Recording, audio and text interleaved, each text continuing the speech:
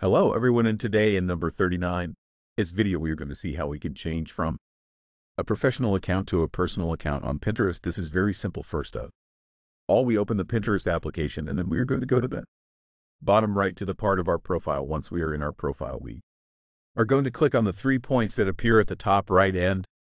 After the options that are unlocked we are going to press the third one that says HUD. Once we are in our account settings we are going to leave to the second option that you are seeing on the screen, and as you can see, a button appears that says Convert to Personal Account in the option that we were looking for. We click to convert to personal accounts, and as you see now, we click on the button that appears in red to go to the personal account. We are already in our personal account. It is simple. We do not have to do anything else. As you can see, our profile has changed instead of the three dots.